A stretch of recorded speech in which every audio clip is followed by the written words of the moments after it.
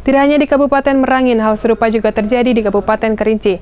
Pasalnya saat PJS Bupati Kerinci Agus Sunario mendatangi sejumlah kantor OPD dan rumah sakit umum, PJS Bupati menemukan banyak SN yang tidak masuk kerja. Sejumlah OPD dan instansi, terutama yang bergerak di pelayanan terhadap masyarakat, Jumat pagi disidak oleh PJS Bupati Kerinci Agus Sunario mulai dari RSUD Maijen H. A. Dilanjutkan kantor Disduk Capil dan Dinas Pemberdayaan Perempuan Perlindungan Anak dan Keluarga Berencana atau DPPPKB. Saat di rumah sakit, PJS Bupati langsung memeriksa absen pegawai dan pelayanan di bagian depan, serta perkembangan pembangunan rumah sakit. Usai mendatangi rumah sakit, PJS Bupati langsung bertolak menuju kantor Dinas Dukcapil. Di sini Agus Sunaryo menyoroti tidak dipasangnya standar operasional prosedur di dinas tersebut, seperti proses pembuatan KTP elektronik, KK, dan lain sebagainya. Namun terakhir, saat tiba di Dinas Pemberdayaan Perempuan Perlindungan Anak dan Keluarga Berencana atau DPPPKB, Agus Sunaryo mendapati sejumlah SN yang tidak masuk kerja.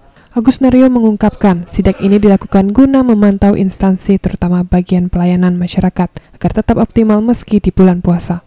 Sementara terkait ASN yang tidak hadir, PJS Bupati meminta pihak BKPSDMD untuk memberikan sanksi tegas kepada ASN yang bersangkutan sehingga hal serupa tidak terjadi kembali.